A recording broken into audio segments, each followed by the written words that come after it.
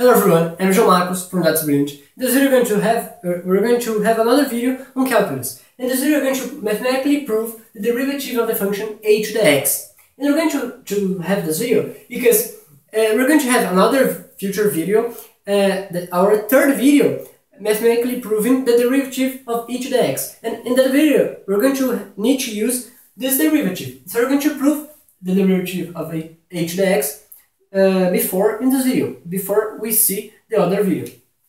So here, a is just a constant. It's a number, but we're representing it generically as a.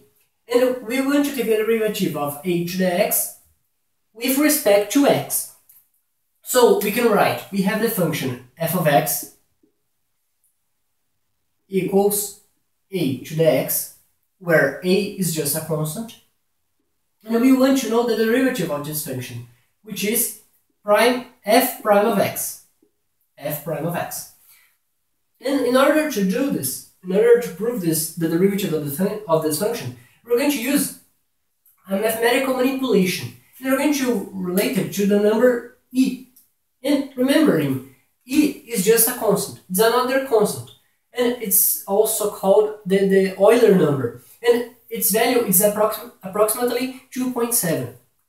And we use this number a lot in calculus because uh, taking the derivative and integrating functions related to this number is very easy. For example, the derivative of the logarithm base e of x is 1 over x. The derivative of e to the x is e to the x. The integral uh, of e to the x dx is e to the x. So, the, the uh, functions functions related to e in calculus have have derivatives and integrals very simple.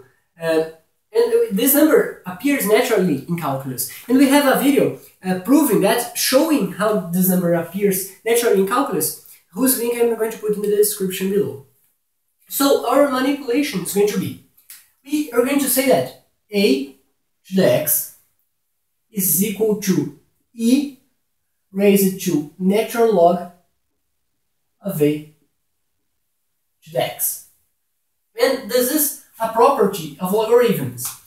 So um, natural log is the logarithm base e. So natural log of v of a to the x is logarithm base e of a to the x. And uh, why is this uh, true? Because what is this logarithm asking? This logarithm is asking to which power I raise e, which is the base, in order to reach a to the x. And the answer is uh, the answer is what this logarithm is asking. It's asking to which number we uh, raise e, which is the base, in order to reach a to the x. And then we are raising e to that number. So obviously we're going to, be, to reach a to the x because we are raising e to the number to, uh, that if you, we raise e to that number, we reach a to the x. So uh, I hope that's clear, but it's a property of logarithms. So for example, natural log, which is logarithm base e of a to the x, it's asking to which number we raise e in order to, e to reach, to yield a to the x. And then we are raising each of these numbers. So we are going to reach each of the x. So uh, we're going to rewrite our function here.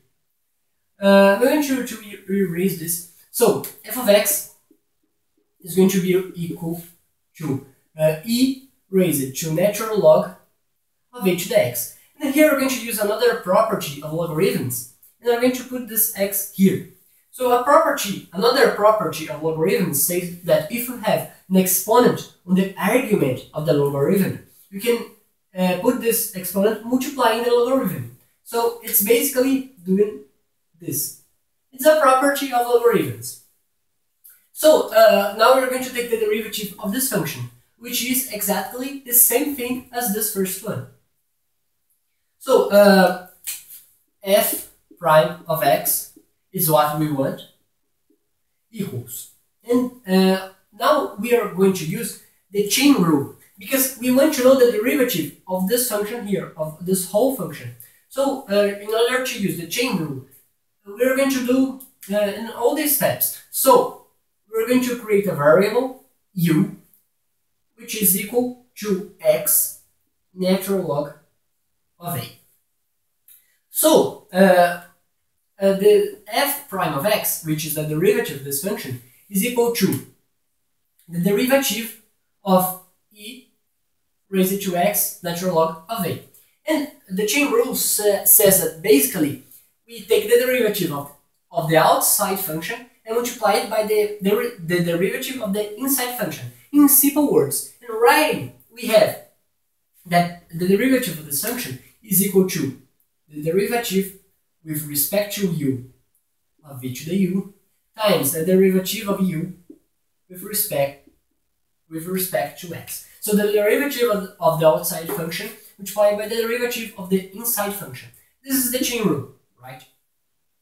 And um, we have, we know that the derivative with respect to x, dgx of e to the x is the same thing, it's e to the x. So the derivative with, with respect to u of e to the u is e to the u. So this is equal to e to the u. And then we multiply it by the derivative of u with respect to x, with respect to x. And uh, the derivative of u with respect to x is, exactly uh, natural log of it. And why is that? Well, let's change the order here. u is equal to natural log of a times x. And we want to take the derivative of this du dx. And um, notice that natural log of A is just a constant. Natural log of A is just the logarithm base e of A. And E is a constant, approximately 2.7. A is also a constant. So this here is a constant. It has a numerical value. We are not using numbers here, but uh, this this has, if we put numbers here, th this represents a numerical value. So this is a constant. And if you take the derivative, for example, ggx of 2x, this is equal to 2.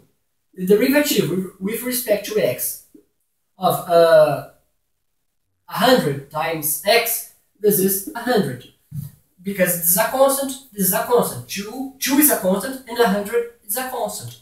And natural log of a is also a constant. So the derivative with respect, with respect to x of natural log of a times x is equal to natural log of a. So uh, this is true. So keep uh, going on. e raised to u, what's u? U is uh, x times natural log of a, it's u. So it, this is equal to e raised to u, which is x natural log of a, e raised to natural log of a to the x.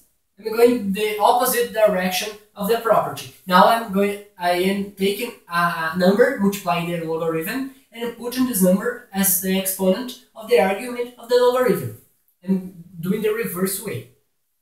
And here, as we have uh, seen, uh, e raised to natural log of a to the x is equal to a to the x. And this is multiplied by natural log of a. So e to the u is this thing, is this here, and natural log of a. So this is equal to, uh, as we as we saw, e raised to natural log of a to the x is equal to a to the x. So this is a to the x and times natural log of a.